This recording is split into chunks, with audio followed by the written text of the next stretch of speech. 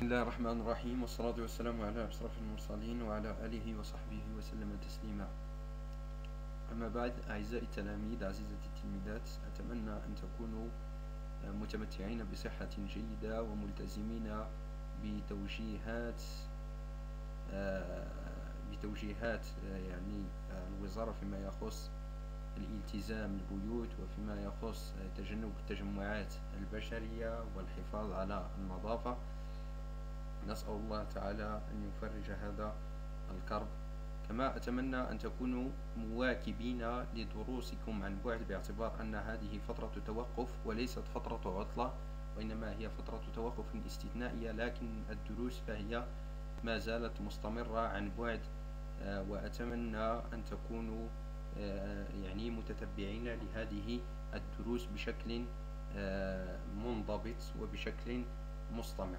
إذا في إطار قلنا الخطة أو يعني الاستمرارية البيداغوجية التي وضعتها الوزارة من أجل تتبع المتعلمين لتعلماتهم. آه، ارتأينا ارتأيت أن أقوم بتقديم هذا الدرس لفائدة تلاميذ السنة الأولى إعدادي بملحقة أزقر الإعدادية. إذا الدرس رقم الحادي عشر من مادة التاريخ تحت عنوان كما تشاهدون على الشاشة تحت عنوان النظام الفيودالي في أوروبا في العصر الوسيط. نعم إذا آه، سوف ننتقل من التاريخ الإسلامي حيث أننا درسنا تاريخ الدولة الإسلامية منذ النشأة ثم عهد الخلفاء ثم عهد الخلافة الإسلامية الكبرى عهد الدولة الأموية والعباسية. وما ساهمت به هذه الحضارة الإسلامية في إغناء الحضارة العالمية سواء فكريا أو علميا أو ثقافيا. نعم. إذا الآن سوف ننتقل إلى ما يسمى بالتاريخ الأوروبي وأول درس كما تشاهدون على الشاشة الذي يندرج ضمن التاريخ الأوروبي هو درس النظام الفيودالي في أوروبا خلال العصر الوسيط. نعم. إذا لدينا المكان اللي هو أوروبا. المفاهيم المهيكلة لخطاب هذا الدرس هو كلمة النظام الفيودالي ثم العصر الوسيط المؤشر الدال على الزمان. نعم. إذا الأهداف المتوخى تحقيقها من خلال هذا الدرس إذا كما تشاهدون في قائمة أهداف التعلم إذا سنتعرف إذا التلميذ في نهاية الدرس يجب أن يتعرف عن معنى النظام الفيوضالي في أوروبا وأن يتعرف كذلك عن امتداد زمني للعصر الوسيط. ثم اكتشاف العلاقات التي تربط بين طبقات المجتمع الأوروبي في العصر الوسيط يعني طبيعة المجتمع الأوروبي خلال هذا العصر. وكذلك أن التلميذ آه، سوف يجب أن يتمكن من هدف آه، يعني من من هدف آه، يعني حس حركي المتعلق وهدف منهجي متعلق بالاشتغال على وثائق تاريخية بحيث أن الوثائق التاريخية التي سنشتغل عليها هي عبارة عن خريطة تاريخية ثم خط زمني تاريخي ثم نصوص صور وخطاطات وكذلك يعني أن العنصر الذي بدأنا بدراسته أو الذي كان مواكبا لدروسنا منذ دروس الدورة الأولى هو استعمال شبكة الحضارات لتحليل التنظيم الاجتماعي والسياسي. إذا قلنا أن هذه الشبكة شبكة الحضارات فهي تتكون من مجموعة من المداخل أو مجموعة من المحاور ما يتعلق بالوسط الطبيعي ما يتعلق ب يعني آه، المعتقدات ما يتعلق بالنظام السياسي ما يتعلق بالتنظيم الاجتماعي. إذا مجموعة من العناصر التي تتكون منها شبكة الحضارات. إذا بالنسبة لهذا الدرس فنحن سنملأ الخانة المتعلقة سنملأ الخانة المتعلقة بالتنظيم الاجتماعي والسياسي في الحضارة الأوروبية. نعم. إذا لدينا تمهيد شكلت سنة 476 ميلادية منعطفا حاسما في تاريخ أوروبا إذ أدت هجمات الشعوب المتبربرة على الإمبراطورية الرومانية إلى زوالها. نعم. وبذلك كانت نهاية العصور القديمة وبداية العصور الوسطى التي تعرف كذلك بالعصور الفيودالية فما المقصود بالفيودالية وما أسباب ظهورها وما الفئات الاجتماعية التي انقسم إليها المجتمع الفيودالي وما العلاقات التي كانت تربط بين هذه الفئات. نعم. إذا آه، في النشاط الأول آه، لدينا خريطة من خلال هذه الخريطة سنتعرف على وضعية أوروبا في بداية العصر الوسيط وتوطين هذا العصر على خط الزمني أي العصر الوسيط. إذا الوثيقة الأولى هي عبارة عن خريطة والهدف من هذه الخريطة أننا سوف نتعرف سوف نوطن موطن الإمبراطورية الرومانية في العصور القديمة وبداية العصر الوسيط. إذا أعزائي التلاميذ أعزائي التلميذات إذا آه، آه، لاحظوا معي الخريطة يعني الوثيقة رقم واحد خريطة اتجاه الغارات المتبربرين غارات المتبربرين على الإمبراطورية الرومانية. نعم. إذا أول شيء سوف نحاول أن نحدد آه، الموقع الجغرافي للإمبراطورية الرومانية. إذا الإمبراطورية الرومانية كما تشاهدون على الخريطة فهي تنتمي إلى القارة فهي تمتد على مجال شاسع بالقارة الأوروبية. إذا تمتد من إذا من أقصى غرب أوروبا إلى أقصى شرقها ومن البحر الأبيض المتوسط في الجنوب إلى أقصى شمال أوروبا. نعم.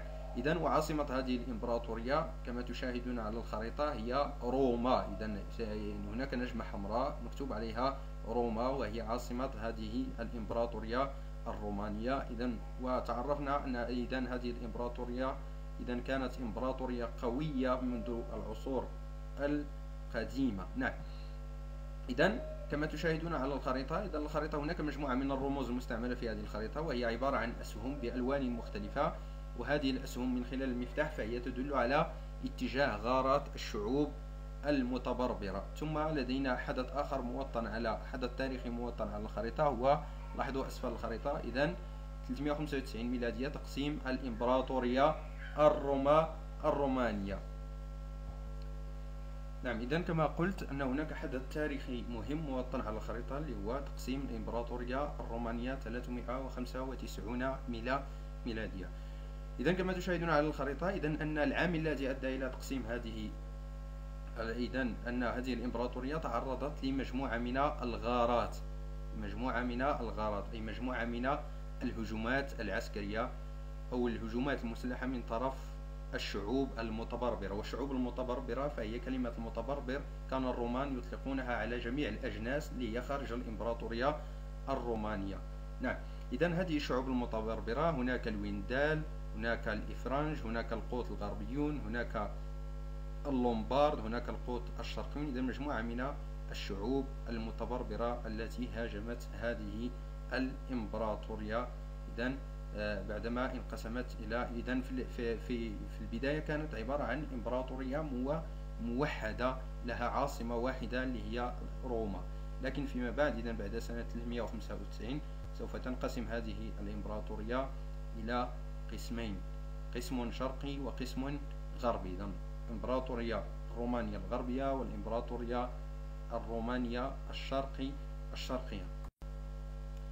إذا كملخص لما جاء في يعني في هذه الخريطة. إذا تقع الإمبراطورية الرومانية بالقارة الأوروبية تمتد من أقصى غرب أوروبا إلى أقصى شرقها ومن البحر الأبيض المتوسط في الجنوب وعاصمتها روما. إذا تعرضت هذه الإمبراطورية للانقسام سنة 395 ميلادية. إذا انقسمت إلى إمبراطورية غربية وعاصمتها روما. وإمبراطورية شرقية وعاصمتها القسطنطينية أو التي سوف تسمى فيما بعد الإمبراطورية البيزنطية.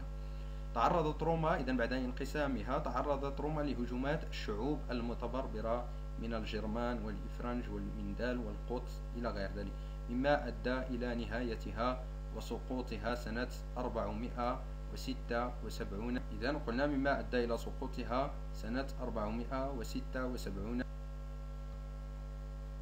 نعم إذا بعدما وطنا موقع الإمبراطورية الرومانية في الخريطة إذا الآن سوف نوطن العصر الوسيط الأوروبي خلال الزمن التاريخي. نعم إذا لدينا وثيقة هي عبارة عن آه، خط زمني تمثل لنا بداية ونهاية العصور القديمة والعصر الوسيط. إذا كما تعرفون أو كما درستم في السنة في السنوات الأولى ابتدائي تعرفتم على ما يسمى بقطار التاريخ لكن الآن نحن سوف نتعامل مع مصطلح جديد وهو إذا قطار التاريخ سوف نعوضه بمصطلح جديد اللي هو الخط الزمني. إذا هذا الخط الزمني الذي أمامكم أعزائي التلاميذ أعزائي التلميذات إذا ركزوا معي جيدا على معطيات الخط.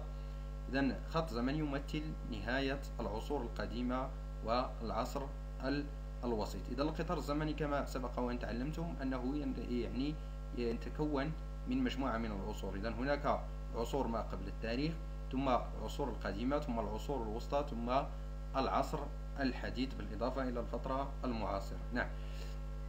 إذا ما يهمنا نحن في هذا الخط الزمني هو إذا ولدينا تحقيبين. إذا هناك اختلاف في في التحقيبات التاريخية. إذا هناك ما يسمى بالتحقيب الأوروبي الذي يعتمده المؤرخون الأوروبيون وهناك ما يسمى بالتحقيب العربي أو التحقيب الإسلامي الذي يعتمده المؤرخون المسلمون. يعني تختلف نهاية العصور بين في التحقيب التاريخي في التحقيب الأوروبي عفوا والتحقيب الإسلامي. نعم. إذا آه، كما تلاحظون هنا إذا عصور إذا العصر القديم فهو يمتد منذ يعني يمتد من آه، يعني إذا العصور هناك العصور القديمة. نعم. إذا كما تعرفنا على ذلك سابقا. إذا أن العصور القديمة فهي تمتد منذ 3500 قبل الميلاد أي منذ اكتشاف الكتابة المسمارية. ونهاية العصر القديم كانت سنة 476 ميلادية. إذا ركزوا جيدا على هذا التاريخ. إذا نهاية العصر القديم كانت هو سنة 476 ميلادية. إذا والحدث الذي يوافق هذا التاريخ هو نهاية الإمبراطورية الرومانية الغربية يعني الإمبراطورية الرومانية الغربية وليست الشرقي الشرقية. إذا نهاية نهاية العصر الوسيط إذا في في التحقيب الإسلامي كان هو 1453 أي فتح الأتراك للقسطنطينية. إذا 1453 فتح الأتراك للقسطنطينية. وقلنا أن القسطنطينية هي عاصمة الإمبراطورية البيزنطية أي الإمبراطورية الرومانية الشرقي الشرقية. إذا قلنا بداية العصر الوسيط كانت سنة 476 ميلادية أي مع نهاية الإمبراطورية الرومانية الغربية ونهايته كانت سنة 1453 والحدث الذي يوافق هذا التاريخ هو فتح الأتراك للقسطنطينية التي كانت عاصمة الإمبراطورية. نعم إذا كما قلنا أعزائي التلاميذ إذا بالنسبة لاختلاف الواقع بالنسبة للمؤرخين الأوروبيين والمؤرخين الإسلاميين في نهاية العصر الوسيط إذا قلنا التاريخ الإسلامي يعتبر أن فتح الأتراك للقسطنطينية سنة 1453 هو نهاية العصر الوسيط. لكن الأوروبيون يعتبرون نهاية العصر الوسيط يعني في نفس يعني يتفقون في نفس القرن مع اختلاف بسيط في آه، السنوات. إذا أنهم يعتبرون أن نهاية العصر الوسيط في أوروبا يعتبرونها هي بداية يعني الاكتشافات الجغرافية يعني مع الاكتشافات الجغرافية ومع بداية النهضة في أوروبا خلال القرن الخامس عشر الميلا الميلادي. نعم. إذا ثم بعد العصر الوسيط يأتي العصر الحديث إذا العصر الحديث أي عصر النهضة الأوروبية. إذا بداية النهضة الأوروبية وبداية الاكتشافات الجغرافية هو نهاية العصر العصور الوسطى عند الأوروبيين بينما المسلمون يعتبرون أن السنة 1453 بالضبط أي فتح الأتراك للقسطنطينية هو نهاية العصر الوسيط وبداية العصر الحديث. نعم.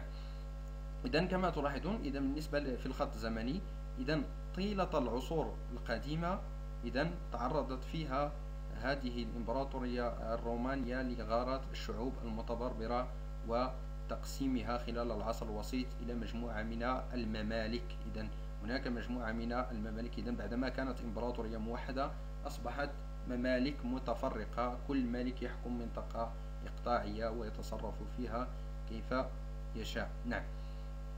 إذا آه، يطلق الأوروبيون عبارة العهد الوسيط على الفترة الطويلة. يعني هي فترة طويلة تقريبا 11 قرن. الفاصلة بين القرن الخامس الميلادي حيث نهاية الإمبراطورية الرومانية في الغرب سنة 476 وبداية القرن السادس عشر حيث بداية النهضة الأوروبية بعد اكتشاف أمريكا وبداية توسع أوروبا في العالم. إذا الميزة التي ميزت هذا العصر الوسيط في أوروبا إذا رأينا أن العصر الوسيط فهو هو العصر الذي ظهرت فيه الدولة الإسلامية.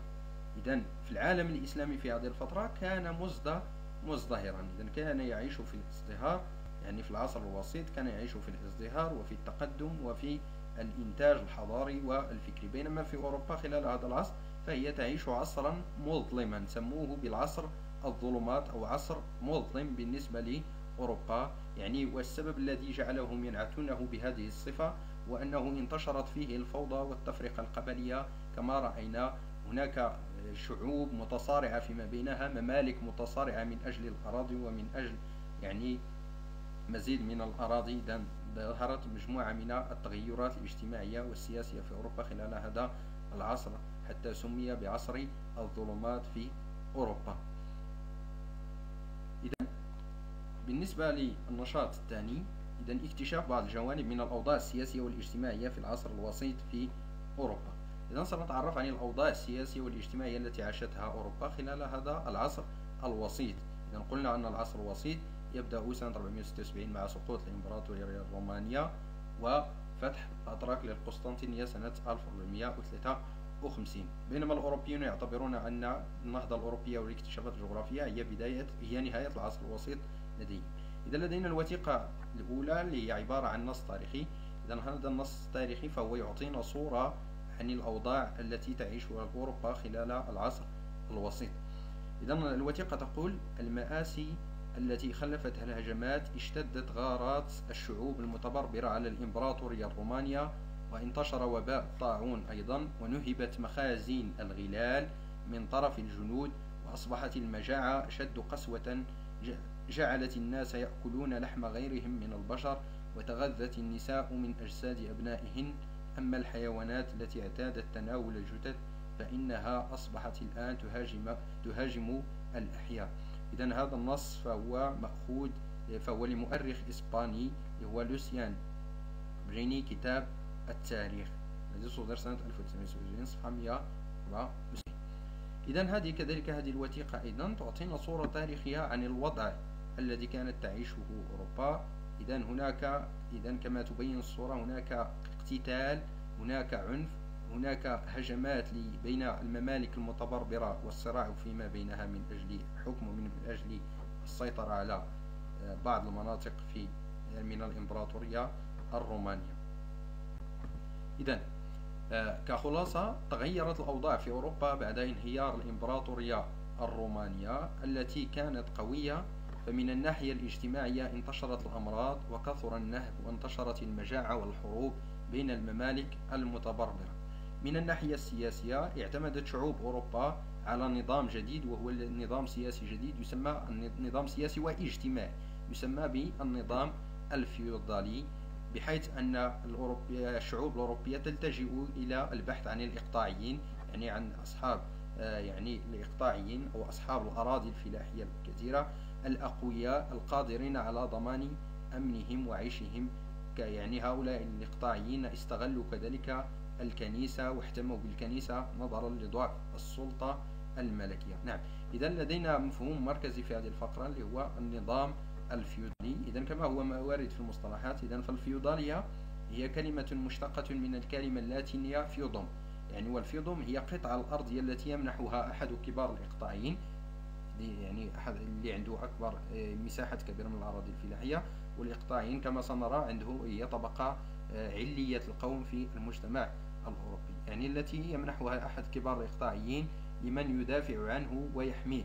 إذا فهو يقدم له قطعة أرضية مقابل ماذا؟ مقابل الحماية والدفاع عنه. وأصبح هذا النظام الفيودالي معمولا به في تحديد العلاقات بين ملوك الدويلات. إذا قلنا لأن الإمبراطورية الرومانية انقسمت إلى مجموعة من الدويلات وكل دويلة صغيرة يحكمها ملك.